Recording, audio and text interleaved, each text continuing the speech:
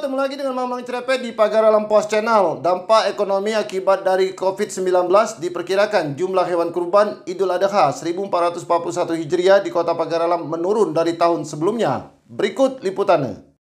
Dampak ekonomi akibat dari COVID-19 diperkirakan juga turut berdampak kepada jumlah hewan kurban Idul Adha 1441 Hijriah di Kota Pagar Alam.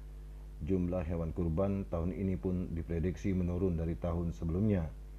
Kepala Kantor Kementerian Agama Kota Pagaralam Haji Win Hartan melalui kasih Bimas Islam Sumaji menuturkan bahwa untuk jumlah hewan kurban di Idul Adha 1441 Hijriah tahun 2020 ini kemungkinan turun bila dibandingkan di tahun 2019 lalu.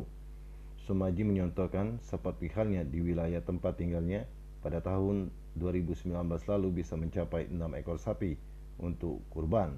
Pada tahun 2020 ini kemungkinan besar hanya bisa 4 ekor sapi kurban.